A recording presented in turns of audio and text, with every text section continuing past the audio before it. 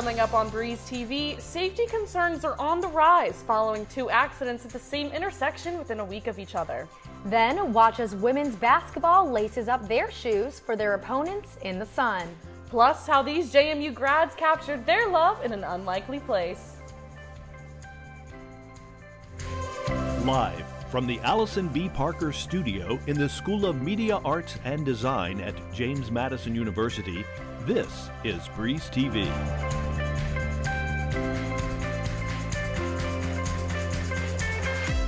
Welcome back to our first Breeze TV broadcast of this semester. I'm Maggie Rickerby. And I'm Zoe Mowry. A professor's house burned down this month in Harrisonburg, but in the wake of the tragedy, close family friends of Susie Shomo organized a gift card drive and made a Facebook page to raise funds for her lost home. Kelsey Tolbert got the idea when a neighbor's home caught fire in Fairfax and decided that gift cards would be the best way to support her close friend. Some of Shomo's students visited her home for field trips that would end at her property. All of her students have been in her home. And so they all just want to say, like, this home was so beautiful. It was clearly so lovingly built and taken care taken care of. And you know, we're just so sad that something like that could happen. Because, you know, we all would hate to lose our home, but it's, I just can't express to people enough what this home was. To get in contact with Kelsey Tolbert about donations, you can email her at helpforsusieshomo at gmail.com. And you can get more information through the Facebook page titled Help for Susie Shomo. After the vehicle and pedestrian crash near JMU's campus last weekend, reporter Alexa Bonilla has an update with emerging details and safety tips from someone near the scene. The JMU spokesperson confirmed that the pedestrian struck by a vehicle on Friday night right here at the intersection of South Main Street and Port Republic Road was a JMU student. The student has serious but non-life-threatening injuries. JMU junior Lexi Miller was riding by the intersection in an Uber when she thought a party had been shut down. When she saw first responders arriving to the scene, she realized something might be wrong. It's definitely freaky to think about how like fast something can change. After witnessing this, Miller has one message for JMU students. I just hope people stay safe and especially I know there's always a lot of accidents on that on port and um just to be careful when driving, especially late at night on weekends. Reporting for Breeze TV, I'm Alexa Bonilla. We'll now throw it over to political correspondent Regine Aranazari for a glimpse at politics throughout the nation. Regine. Thanks, Zoe, and welcome to Breeze TV Politics. A resolution in favor of a ceasefire in Gaza has been introduced to Harrisonburg City Council. Friendly City for Palestine is a local coalition advocating for Palestinian liberty and was formed after Israel declared war on Hamas in October. Mayor Deanna Reed encouraged members to contact local congressional leaders in response to their testimonies. The U.S. House has unanimously passed the Press Act, a bill that protects journalists from federal investigation of confidential sources. 49 states and the District of Columbia have laws protecting journalists from revealing their sources. However, there are no such protections at the federal level. The legislation seeks to enhance the First Amendment to ensure journalists can share information without the fear of retribution. A similar bill has been introduced in the Senate. In other news, Donald Trump is the first non-incumbent Republican candidate to win both the Iowa caucus and the New Hampshire primary. The former president and Nikki Haley are the only two GOP candidates that remain in the race. Although Joe Biden won the New Hampshire primary, many Democrats have concerns about his age and his handling of the situation in the Middle East. Exit polls found that New Hampshire voters consider the economy and immigration as the two most important issues on the ballot. A lot of elections are fought not to try to change people's mind, but to change what they're thinking about. And so, you know, the Democrats in in the fall are going to want to, you know, make it about reproductive rights, and the Republicans might make want want to make it about illegal immigration and the the, um, influx uh, at the border. If you decided on your candidate ahead of Super Tuesday, polls are open for early voting. Polls open January 19th and will remain open until March 2nd, before reopening on March 5th. The deadline to request an absentee ballot is February 23rd. Mailed ballots must be postmarked by Election Day to be counted. You can vote at Harrisonburg City Hall Monday through Friday from 8:30 a.m. to 4:30 p.m. and 9 a.m. to 5 p.m. on February 24th and March 2nd. Polls close at 7 p.m. on March 5th. That's all for politics week. Zoe and Maggie, back to you. Thanks so much, Regine. Well, Zoe, what's coming up on the sports desk? Well, football finally went bowling over break, and our sports director, Colby Reese, recaps the historic season. Then, women's basketballs faced a tough loss at home, but how the team plans to use their Sunbelt trophy to push themselves forward. Plus, a new segment that highlights the standings around the sun. You don't want to miss what our sports team has this week. It's bow time. Dude, we need gas. Yo, we gotta get those Supremes. We're not gonna make it. It's bow time, baby. So worth it, right? I'm glad y'all ran out of gas. Boldly seasoned chicken Supremes with a biscuit, fixin', and drink. It's bow time.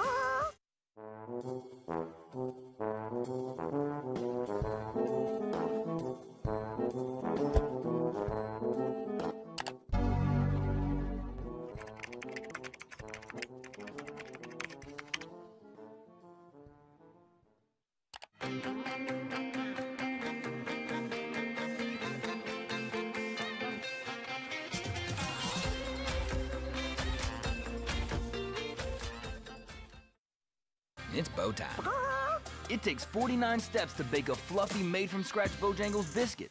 But to make it a country ham biscuit, it takes 50. Get a fresh buttermilk biscuit today with a slice of juicy country style ham. It's bow time.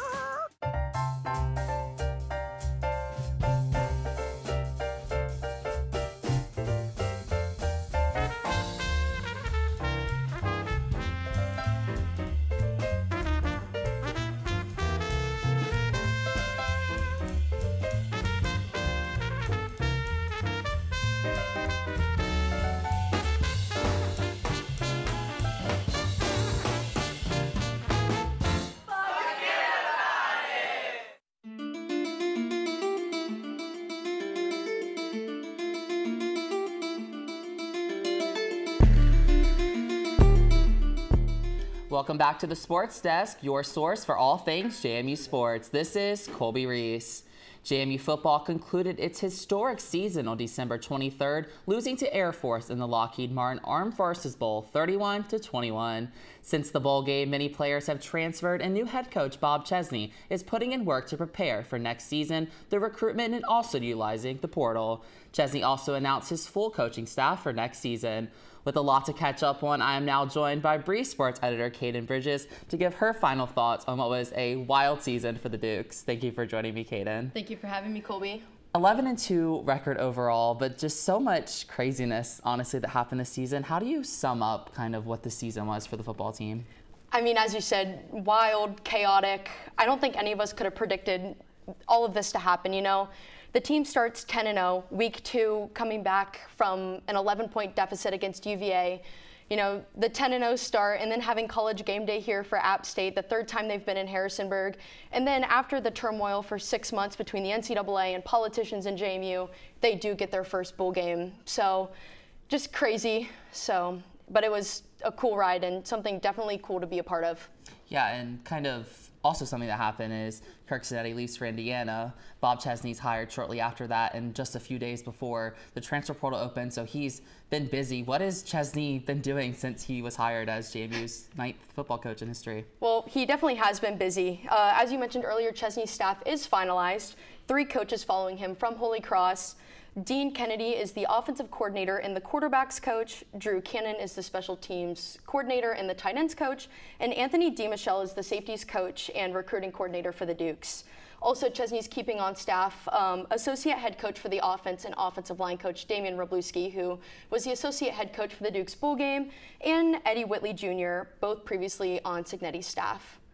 So, along with that, as you mentioned, he's been very busy with the transfer portal, bringing in four of his former players from Holy Cross, one being linebacker Jacob Dobbs, who will be a huge addition to the Duke's defense with the loss of Jailin Walker and Aiden Fisher going to Indiana.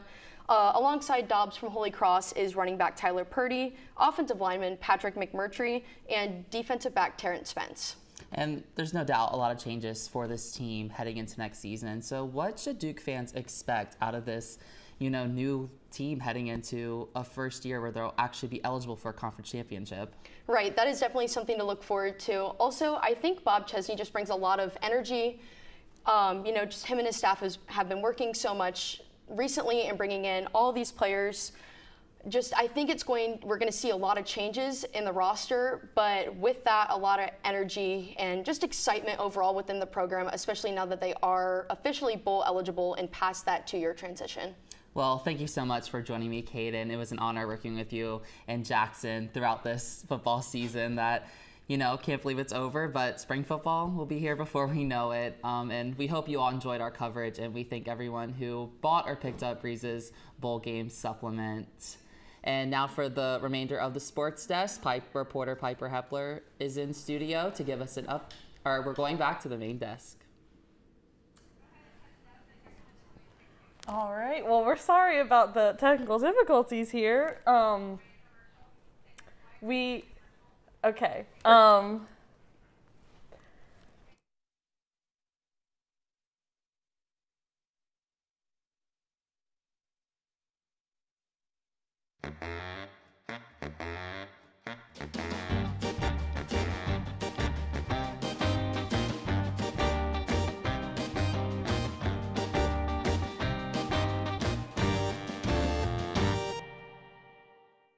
Bojangles, Cajun filet biscuit. For breakfast, lunch, or dinner. Nothing compares to our signature Cajun spiced chicken breast filet on a made from scratch buttermilk biscuit. Breakfast so good, we serve it all day. Get the best chicken biscuit. The one, the only Cajun filet biscuit. For a limited time, get two Cajun filet biscuits for just $5. Bojangles, it's bow time. Thank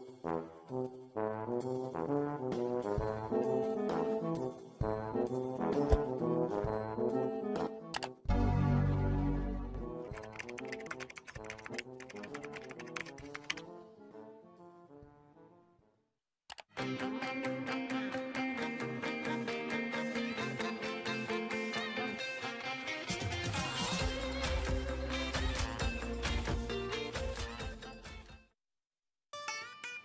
It's bow time. We gonna split this solo? No. Come on. Split the drive? No chance. What are you wearing? Split these? I thought you'd never ask. Introducing Bo's Barbecue Chicken Sandwich and Bo's Carolina Gold Chicken Sandwich. Boldly seasoned hand-breaded chicken, topped with pickles, slaw, and your choice of two sauces. So good, you'll want to get both and split them with a friend. Download the Bojangles app and order ahead. It's bow time.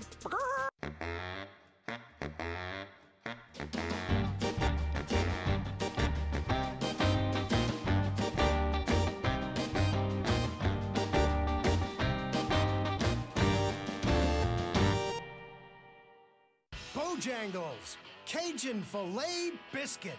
For breakfast, lunch, or dinner. Nothing compares to our signature Cajun spiced chicken breast filet on a made from scratch buttermilk biscuit. Breakfast so good, we serve it all day.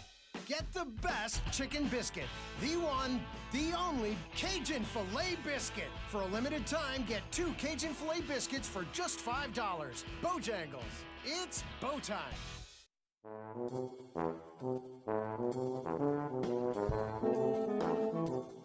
you.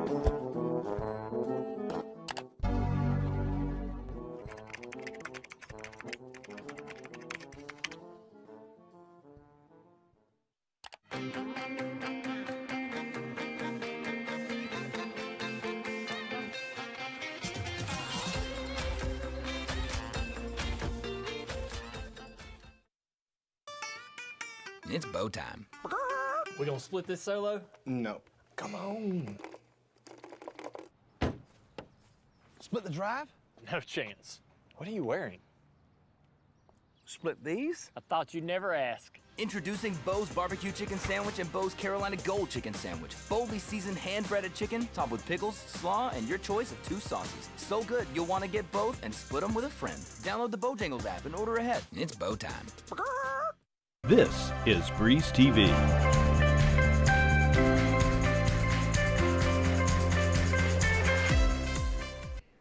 Sorry about those technical difficulties, but now we're going to give you the rest of sports. It was sneaker night at the Atlantic Bank Union Center Wednesday as women's basketball took on Marshall. The Dukes began strong, holding a 19 8 lead after the first quarter. JMU had its biggest lead of the game at 14 with just under four minutes remaining in the first half. The Thundering Herd cut the deficit to four points heading into halftime. That momentum would continue for Marshall in the second half, outscoring JMU by 8 in the third quarter and leading by 18 with just under 5 minutes remaining. Marshall would go on to beat JMU 77 to 70.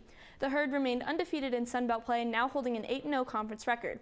With the Dukes starting the game strong and not being able to replicate that to begin the second half, the team knows that this will be a key move emphasis moving forward. We just got to do better on defense, mainly.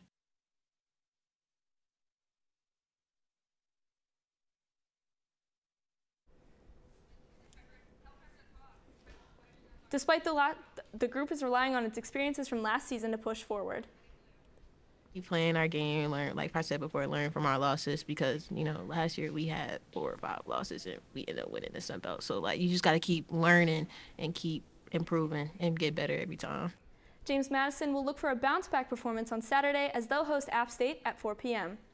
Curious about where JMU sports teams stand in their conference? Well, Breeze TV Sports' new segment will provide a weekly update on the Sun Belt standings. Now, let's take a loop around the sun.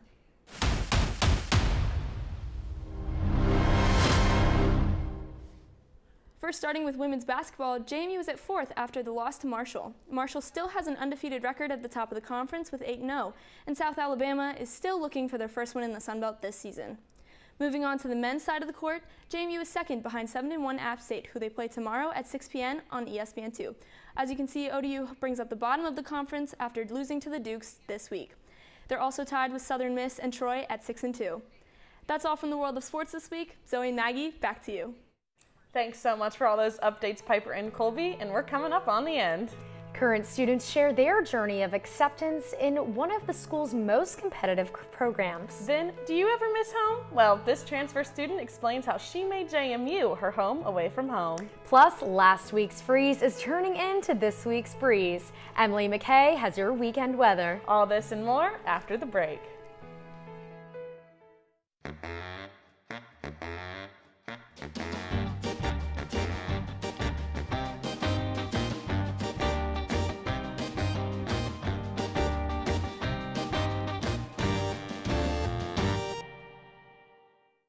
Bojangles, Cajun filet biscuit. For breakfast, lunch, or dinner. Nothing compares to our signature Cajun spiced chicken breast filet on a made from scratch buttermilk biscuit. Breakfast so good, we serve it all day. Get the best chicken biscuit. The one, the only Cajun filet biscuit. For a limited time, get two Cajun filet biscuits for just $5. Bojangles, it's bow time. Thank you.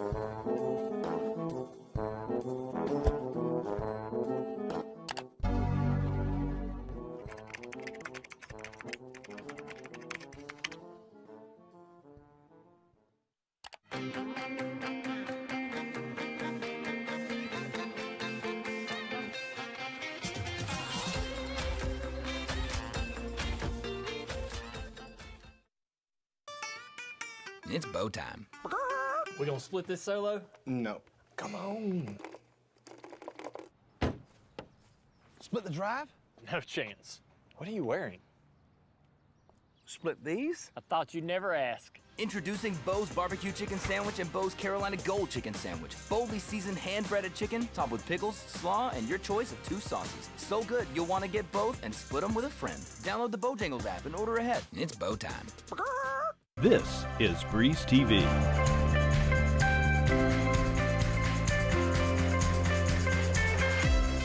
Welcome back to Breeze TV. Our reporter Madeline Gallagher is in studio today to discuss one of JMU's most difficult programs. Madeline?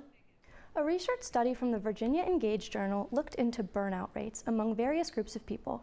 According to researcher Anandaya Kundo, undergraduate students and professional nurses were the two groups that experienced burnout most frequently, with burnout rates as high as 70% among nurses. This made me wonder if the 2019 study had any val validity on our campus today. I sat down with current undergraduate nursing students and a local healthcare professional to find out more about their experience in their field thus far. Emergency department, stroke alert to the emergency department. According to nursingdegreesearch.com, JMU's nursing program is in the top 8% of schools nationwide. With the JMU nursing program being one of the more competitive majors, students can confirm it's living up to its reputation. I just like felt dumb all the time and I was so tired of like trying so hard to get like mid grades. Another student shares her struggle to find balance in her schedule. You can have an exam coming up in a week and you can feel you want to start studying for it and you know you need to start studying, but maybe you had an 11 hour clinical you just got home from and you're exhausted and trying to actually sit down and study, but nothing's retaining. Students are required to complete 500 clinical hours to be able to graduate the nursing program, 90 of which need to be completed during their first semester after being admitted into the program. Though Meter was discouraged during her first semester, she can now apply her classes to valuable hands on experience. And just because I don't do so well like on an exam or something doesn't mean I'm gonna be like a bad nurse. Even with a taxing course load, the selective program allows students to connect on a deeper level. When like starting the program, be as friendly as you can. You have to find your people and not just like people to study with or get through clinicals with, but people who are going to uplift you and be your emotional support. You can't get through this program alone. You have to lean on each other. Many students in the JMU nursing program gain experience by shadowing at Sentara. Heather Manley, a registered nurse at Sentara, says even after 18 years of experience, she still recalls the difficulties and distractions that came along with being a nursing student. She shares her best advice for students who aspire to be in the field of healthcare. Prioritize what you really care about in your personal life. Make sure you still take time for yourself but try not to get caught up too much in the college lifestyle the woohoo we're here let's party. While it can be fun staying focused on your coursework. Nursing is only one of many competitive majors and programs jmu has to offer. If you've experienced difficulties of a challenging major you can email jmubreezetv at gmail.com for an opportunity to share your story. That's all from me today. Back to you maggie. Thanks, Madeline. According to the National Institutes of Health, about 90 to 70% of college students experience homesickness at some point. In an effort to address common yet overlooked feelings of homesickness among students, JMU took the initiative to help students learn how to cope with emotional challenges that come away from being away from home. The Student Success Center held a seminar called Coping with Homesickness, where Carla Kale, who led the event, spoke to students about strategies to foster a sense of belonging and support among the student body. Transfer student Shannon Davis also shared some tips and tricks on overcoming homesickness. Just to get yourself out there, like if you feel like staying in one night, just get out, go for a drive, join clubs, or organizations, and just get out there and get to know people, try different things. Davis also mentioned how it can be hard to get comfortable at a new school but surrounding yourself with new people can help get you out of your comfort zone. Finnegan's Cove is a staple of downtown Harrisonburg. With its checkered floors, dim lighting, and witty wall signs, the open late dive bar is not typically what comes to mind when looking for love.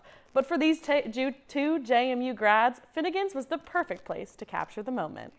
Loved by many from different walks of life, Finnegan's is a place for locals and college students alike. For Abby Griffin and Tyler Smith, it's where their love story began. Dressed up in a suit after a friend's wedding, Smith ended up at the local bar. Me and some of the guys that were in the wedding party uh, went to Finnegan's after after the wedding, and that's where we met. I was yeah. at um at a party actually in college with a couple of my girlfriends and I was gonna leave and go home and my one friend was like, no, like let's go downtown, that kind of thing. And then she knew some people that he knew and it just so happened to to work out and we met each other that night in Finney's. Yep. The two hit it off and discovered they went to the same high school. After two years of traveling and getting tattoos together, Smith popped the question in August 2023. Then, Griffin reached out to friend and Finnegan's bartender Andrew Paw to schedule an engagement photo shoot at the place that started it all. It made us feel like we did our job right because we created an environment, something for for Tyler and Abby to be like, we want to come here, have our engagement photos here because I, how cool is it feel to be like, wow, I helped facilitate this special moment happening, and that moment gets to be recorded here. The happy couple is set to get married this October, and they have one goal for the future. Continuing a, a happy life together that stemmed from Finnegan's. Reporting for Breeze TV, I'm Maggie Rickerby. JMU students seem to be enjoying the warm temperatures after all the snow, but today might be the last day to enjoy this nice weather. Let's hear more from contributing reporter Emily McKay with this weekend's weather. Thank you, Maggie. That's right, Dukes. Temperatures are dropping this weekend and rain is projected to come. Sorry, we have a technical difficulty. Throw back to the desk, please. We apologize for those technical difficulties, but JMU welcomed the class of 2028 with early admission decisions released this past Tuesday. This year's pool of early action applicants is the most JMU has seen to date, with roughly 27,000 students, a 12% increase from 2023. This could mean this class may be JMU's largest yet. And guess what? That number could still grow as regular admission decisions are set to be released in mid to late March. Wow, class of 2028. That is crazy. I can't believe it, honestly. Crazy, because I still remember when I got into JMU, and now in May, guess what? We're walking that stage together, girl. Ooh, nervous but excited mm-hmm. to see where everything brings us. And hopefully, we'll see some new breezers next year. Yeah, some people to fill our shoes, right? All right, we'll see you guys same time, same place next week.